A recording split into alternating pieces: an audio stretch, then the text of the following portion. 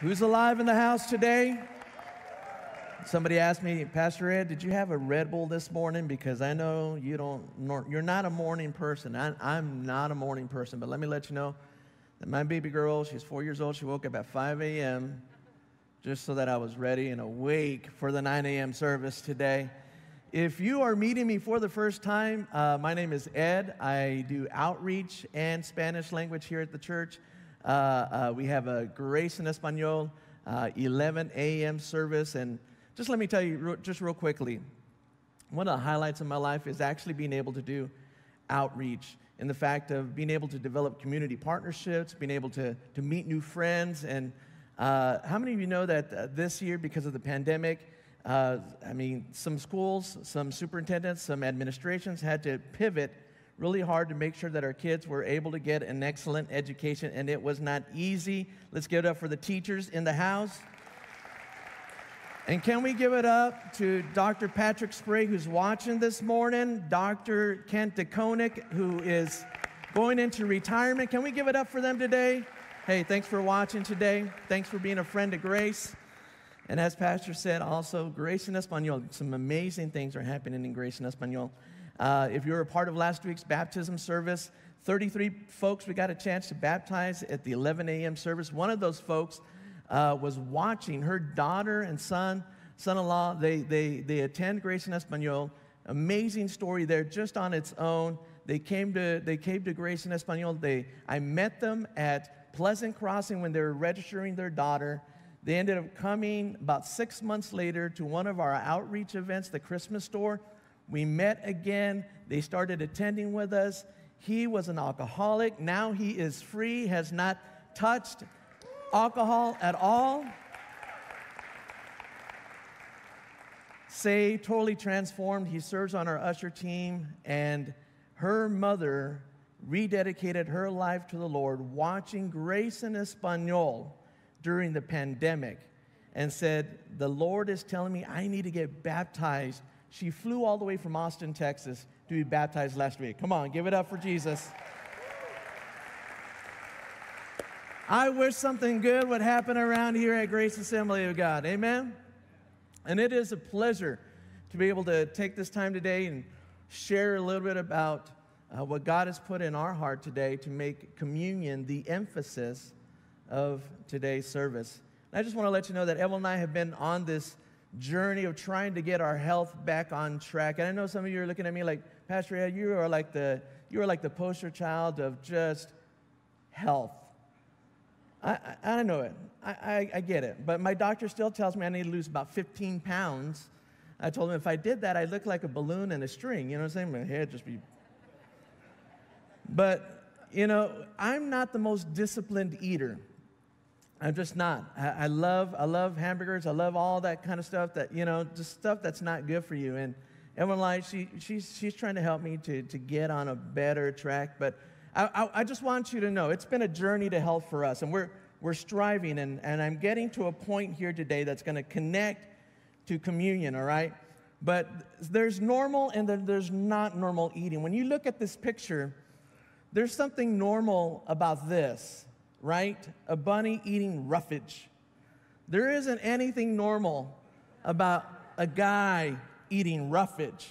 You know what I'm saying? There's, not, there's nothing normal about that. In fact, I believe that God called me to eat that that eats the roughage.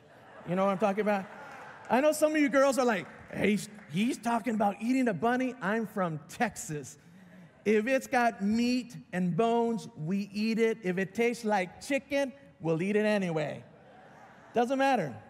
But that, that, that it, there's normal and then there's not normal. So a couple of weeks ago, Evelyn and I posted, we needed some help. There's a lot of people out there doing meal kits and just meal prep. And, and so we wanted to go to the experts. And so a couple of weeks ago, we posted out there, hey, I need some help. And so a lot of people, hundreds of different comments, folks commenting about that. And guess what? We joined in, we got HelloFresh. Now, I'm not advertising HelloFresh, but if there's an account exec that's watching HelloFresh from HelloFresh, yeah, all right. So if you want to send me free meals, I'll accept that. Just saying. But we, we, we got on this cake. We just got this yesterday. I haven't eaten from the box yet because yesterday was kind of like my last meal. You know what I'm saying? Like, I'm gonna try and like, what's in the fridge that we haven't cooked yet? I was like, I don't care. It's like chocolate, spaghetti, you know, everything that was in there, enchiladas, you know. And so we, we just kind of like ate as it was, it was ungodly. Let me just say that. It was ungodly. So now, starting today, we will actually get into this new lifestyle. And we needed some help to be able to get us on the right track for help because we need it, we just, we just need help. And, and today, I, I want to be able to share and make the connection that for this, you know, meal kits, we need help to get on the right journey. Communion is that for us. Today, I want to share with you the ultimate meal kit, which is communion. This is truly the ultimate meal kit. Now, I'm going to open my box. Excited. Because it comes with some stuff. Now, you're going to get the best side of me right here. All right. Comes with some stuff, and they send us some some meals, and they pre-selected it for us. And I'm not gonna. Well, I'm, i may go there. Okay. Uh, I don't know. They racial profiled me in Evelyn, but they sent us Mexicali black bean soup. Something odd about that. But we'll enjoy it. We'll eat anything. So today, we're talking about the ultimate meal kit communion. And for those of you who are watching, we're going to actually have communion a little bit later. So those that are at home, go ahead and get yourself some, some bread, some crackers, some juice. Get yourself all set up and unpack your meal kit today. And I only got one point here today, folks. One point. That because that's just the way I work. I can only handle one point. That's just me personally. All right. But my one point today is communion is the meal that heals and restores. Communion is the meal that heals and restores. Now I'm going to set this up, all right? We're going to go all the way back to the Old Testament when this meal kit was presented to us in the book of Exodus, chapter 12. And there are some elements that are pretty important that God had set up already in the meal kit for those that were living in this time. These were people, Israelites, that were under slavery for 430 years. They had lived in slavery to Egypt. And God had said, Okay, I'm going to free you of that. I'm going to send somebody who will deliver you from that. He raised up Moses. Moses comes. If you've ever watched the story, the Ten Commandments, you know, it's, it's just amazing. God says 10 plagues will come upon. Nine plagues has already happened, but by the time we get to Exodus 12. In Exodus 12, we see here that just like the meal kit that I received that gave me a list, a recipe of things to follow, God gave the Israelites in this meal that they were supposed to have at home. Now, I want you to get this in your spirit because communion, before it was in a house of worship, communion was done in homes. You see that in the Old Testament. You see that in the New Testament. When we'll get there with Jesus and his disciples, he sends them out to go to a home. This meal kit was set up for homes. This meal kit was set up to be personal. This meal kit was set up to be an intimate moment. We also see it in the book of Acts. We see there that a lot of times people were getting together in homes, breaking bread, having fun, praying with each other, and just amazing things were happening. This meal kit was set up to arrive at your home. You can do it here in this house of worship, but you, all you also can do this in your own home at any time. Isn't that amazing? And we see here some of the, some of the things that God had listed in the things to do, the recipe to make this a successful meal for them. Now, this was happening at a time that was called the Passover, and I'll get to that. But part of the elements in this meal kit was that they had to sacrifice a spotless lamb, they had to take the blood of the lamb and they had to paint it around the door frame of their home. They had to eat, they had to roast. This is like a good old Texas, let's put it on the fire pit, let's roast it. They, they, they had to eat all of the lamb, not discard anything at all. They had to have a side dish of bitter herbs. That's important to know too. And they also had unleavened bread in this meal. Now, all of this was happening at a time in which the 10th plague was hitting that land. And in the 10th plague, we see in scriptures there that it was the angel of death. And he was passing over throughout all of the community. And it said there in the scriptures that whenever the angel of death would pass by and he would see the blood that was painted around the doorframe of that house, destruction will not come to that home. They would be saved. That's where we get the idea and the word pass over. The angel of death would pass over their house and no destruction would come to them. Somebody say amen. Now, this is the meal that heals and restores. Now, again, 430 years, they lived in bondage, they lived in slavery. There wasn't a time in this generation's life at that time, they didn't know what freedom tasted like. They didn't know what it was like to be free, to be able to wake up one day and make their own choice. They didn't know what that was like. Freedom was foreign to them. And so God was setting them up in Exodus chapter 12, giving them the opportunity to escape slavery. God in this meal is setting them up and saying, I am going to prepare for you a new destiny.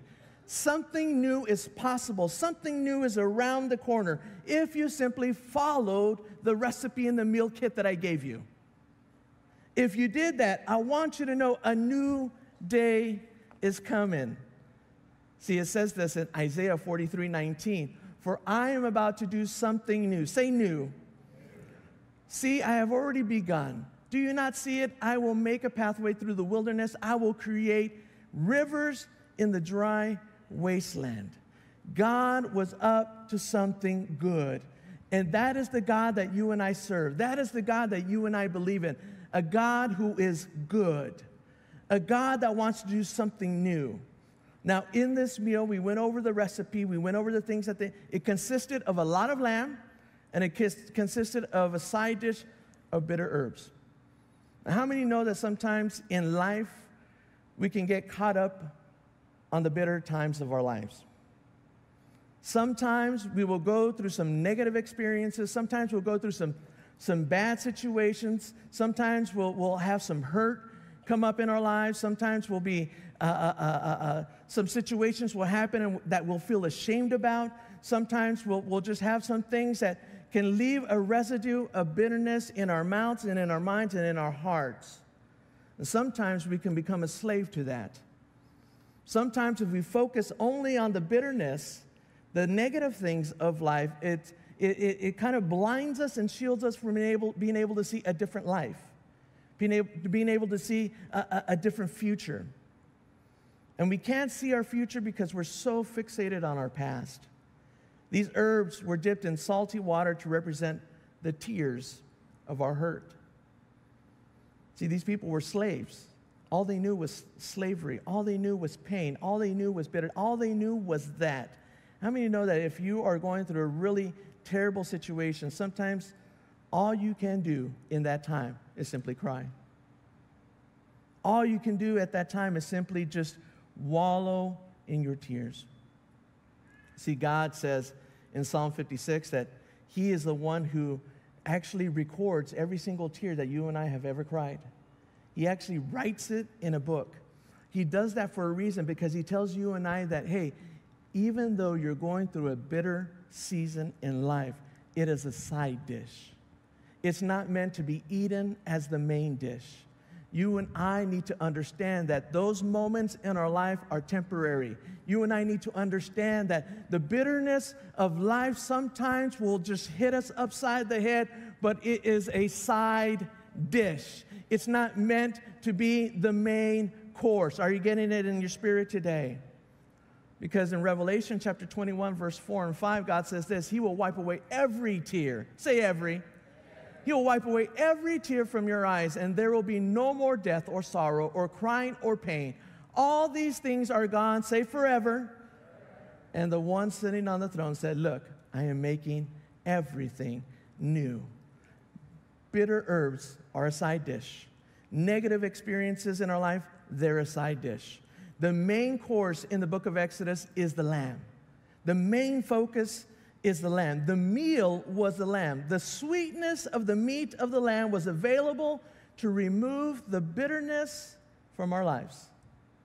You see, the story of Exodus is a picture of a much greater story of freedom and what God wants to do in our lives. We see it written in the book of Hebrews, Hebrews chapter 9, verse 14.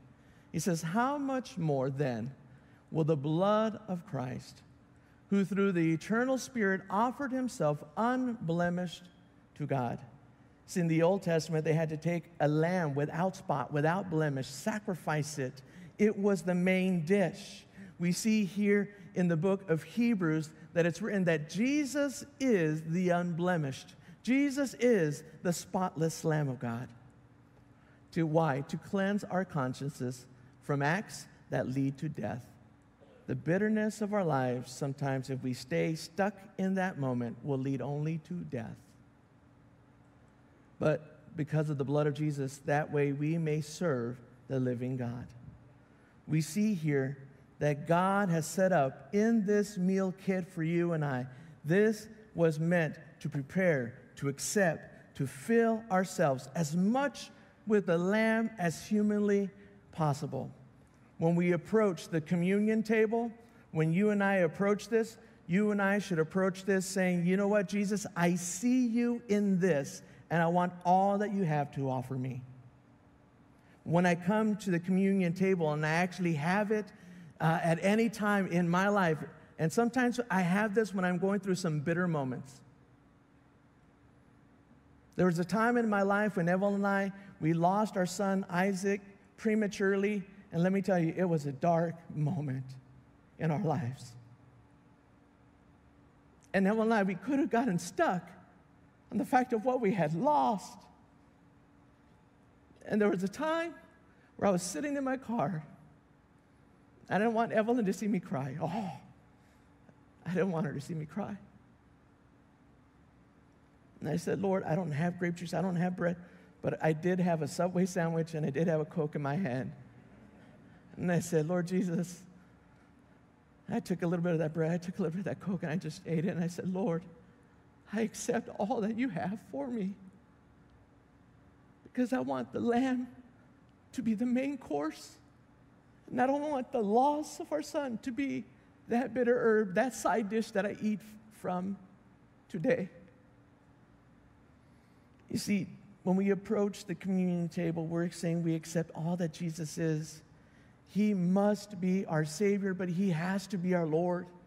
We can't just eat bits and pieces of Jesus. We can't just eat bits and pieces of the truth, accept what we want to accept. We need to accept all that Jesus is when we come to the communion table. See, the meal heals me of my bitter past and restores my hope for a better future. That's what communion is all about. And so God was setting this up thousands of years earlier, before Jesus presented himself here and walked with the disciples for three and a half years. And again, this was a meal that was prepared and it was done on a yearly basis. This was something that people knew, and it was tied to a specific event thousands of years earlier. But Jesus, the last night before he was taken, before he starts that one last week of the last week of his life before he goes to the cross, he has one last meal with his disciples.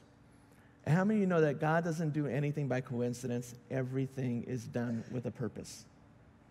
And so the last meal that he has, he has it in the time when they're focusing on the Passover.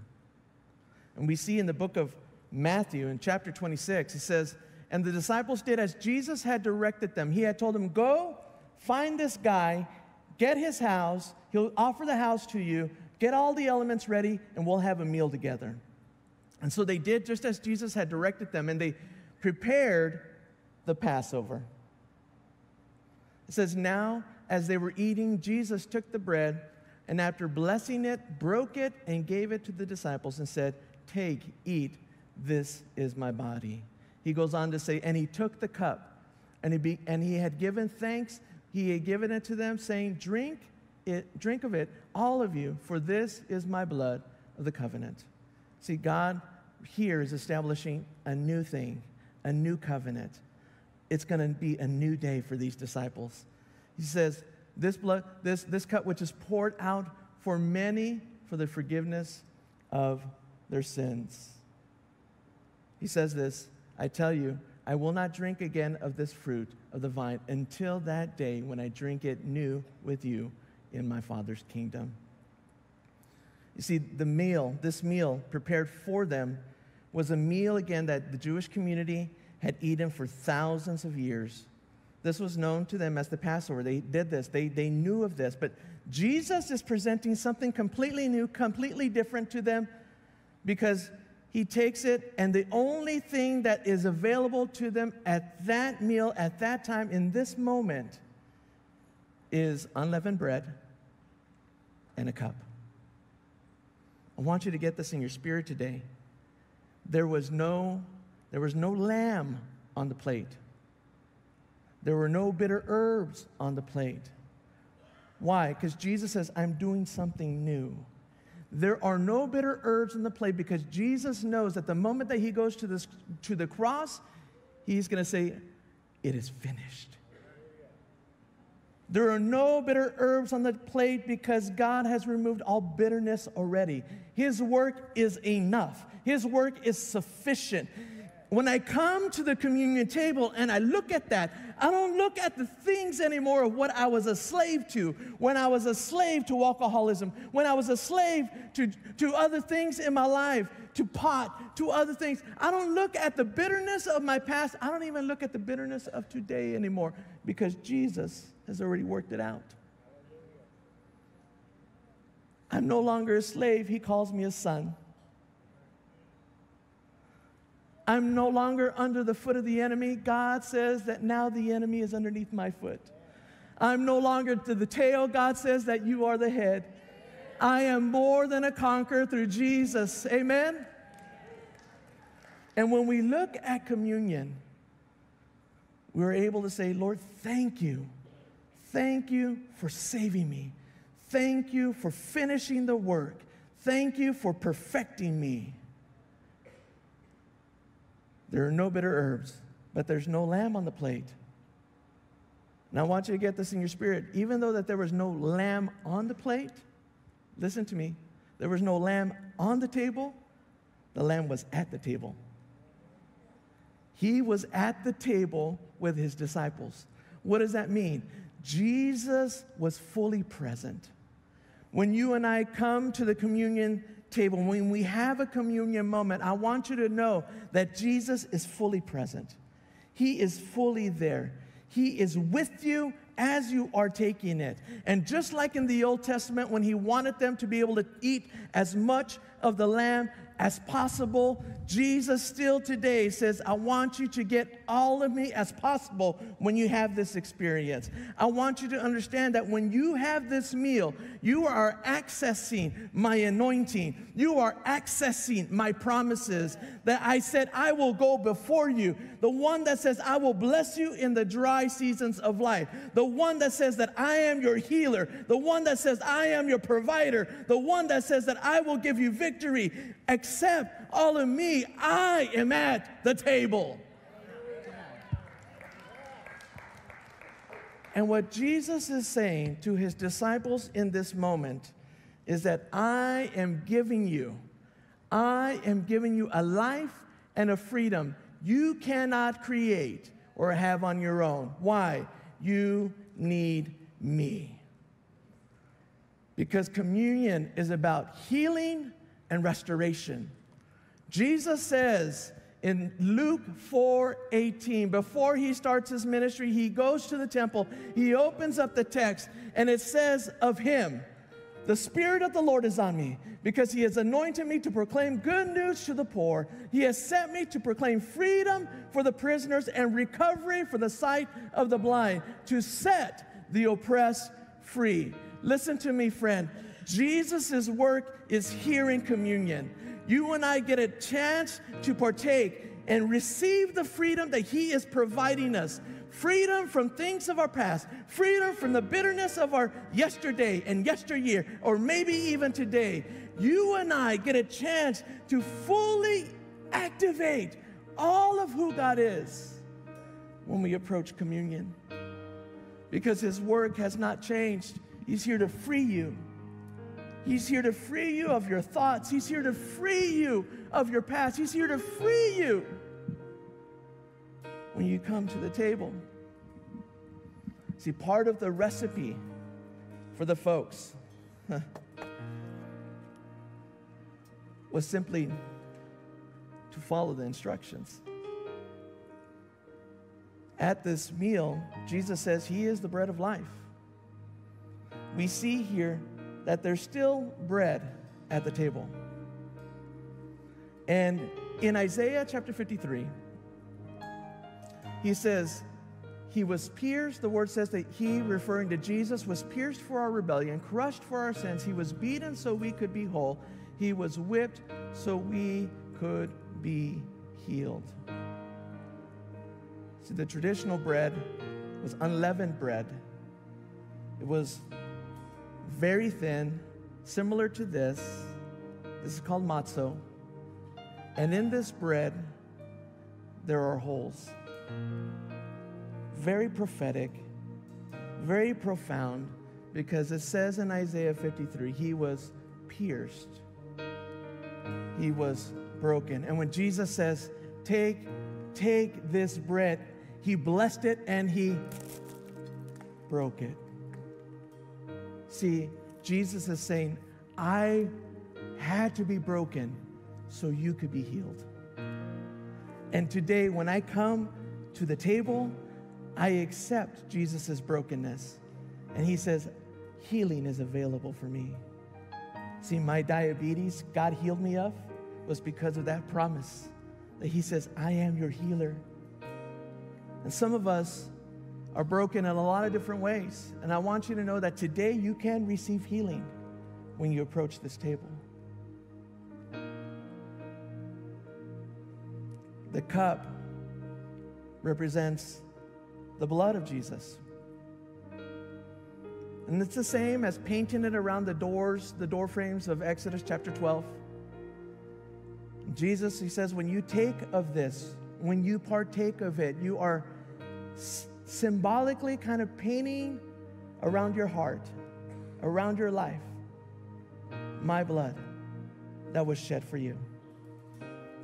And guess what? When we accept the finished work of Jesus from communion, when we accept that, the angel of death will pass over us and destruction will not come to you and I. The word of God says that you and I can have eternal life. It says in John 3:16, "For this is how God loved the world, he gave his one and only son so that everyone who believes in him will not perish but have everlasting life, eternal life. Death will pass over you, my friend. You will not see death. You will go from this life into the next, where Jesus says, When you come to this side, I will be waiting. We will have dinner together. We will break bread together. We will drink together, face to face, and we will rejoice together because now we are whole. See, Jesus says here that this is available to you and I here today. Let's stand.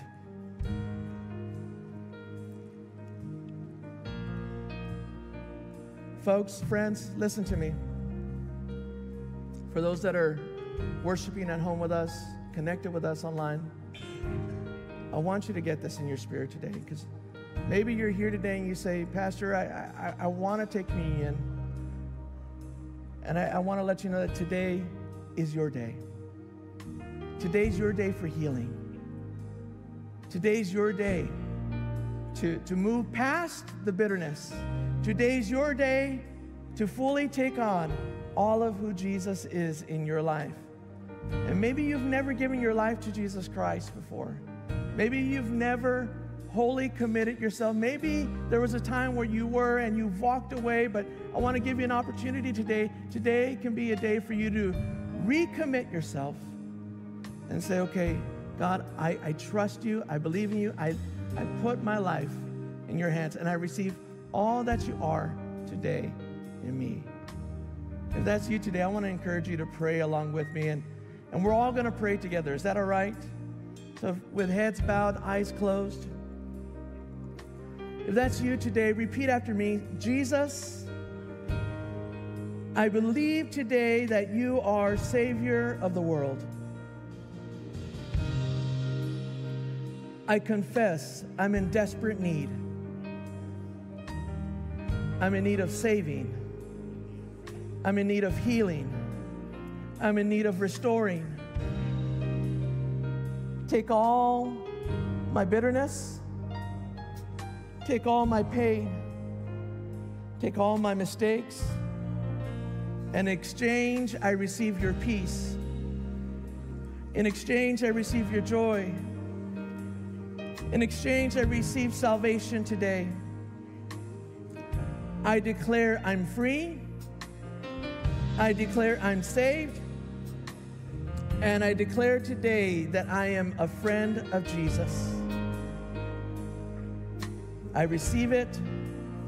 I confess it. I believe it. Amen and amen. If you prayed that prayer, come on. Give the Lord a hand clap of praise.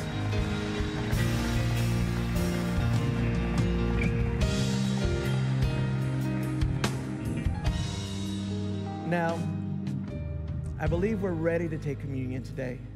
So, right there beside you, go ahead and grab the cup. Go ahead and grab the bread that's there for you that's at home. Go ahead and get yourself ready right now. And we're going to do this a little bit different. I've asked the worship team just to simply play and to sing, but I want this to be an intimate moment for you to have with Jesus today. Again, this meal is for you. It's meant to be intimate, it's meant to be shared between you and the Lord today. And so now I want you to give thanks to God for all that He has provided to you. All of the freedom, all of the joy, everything that He says that He is in this meal. I want you to rejoice. I want you to thank God. I want you to just go to Him today. And you right there have it on your own. And I want you to respond respond however the Lord leads you. Maybe that's praying right there where you're at. Maybe that's coming to the altar today and having communion right here at the altar. Maybe that's kneeling there where you're at. Maybe that's having communion and just raising your hands and worshiping Him today. But I want you to respond to Jesus in communion today. Can we do that? Father, we give you thanks today for the bread and for the cup. Thank you for your work today. In the name of Jesus.